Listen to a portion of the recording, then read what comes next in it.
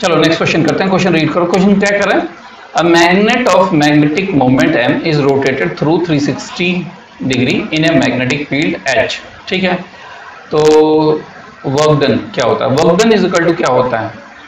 M B bracket में one minus cos theta यहाँ पर बी की जगह मैग्नेटिक फ़ील्ड को एच कह रहा है। B capital B is equal to H ठीक है?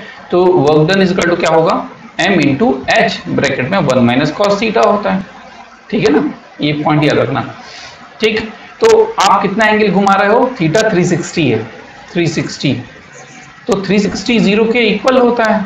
तो cos 360 का मतलब कॉस ज़ीरो cos ज़ीरो की वैल्यू प्लस वन होती है। ये वैल्यू उठा के रख दो यहाँ। Work done equal to M into H bracket में one minus one one one cut गया ज़ीरो आ गया तो zero into this zero work done zero होगा।